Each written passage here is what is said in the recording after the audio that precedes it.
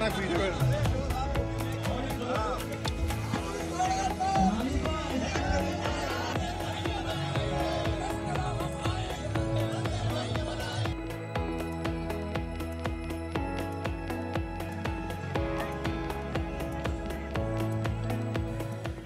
हम सभी यहाँ भगवान श्री कृष्ण के जन्मोत्सव के उपलक्ष्य में पाँच हज़ार दो सौ इक्यावन दीपोत्सव के कार्यक्रम में उपस्थित हुए हैं, जहाँ हमने अपनी पवित्र नदी यमुना जी के किनारे पर दीपोत्सव का प्रोग्राम किया है। ये दीप केवल प्रकाश का ही स्रोत नहीं, बल्कि हमारी श्रद्धा और संकल्प का भी स्रोत है। हम चाहते हैं कि इन दीप के प्रकाश के साथ साथ हमारी सेवा, हमारी श्रद्धा, हमारे संकल्प, हमारी संस्कृति, हमारे सनातन धर्म का प्रकाश भी पूरे समाज में फैले।